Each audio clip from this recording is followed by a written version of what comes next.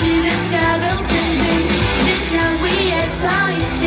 그래도 느껴 조금씩 밝아지는 이름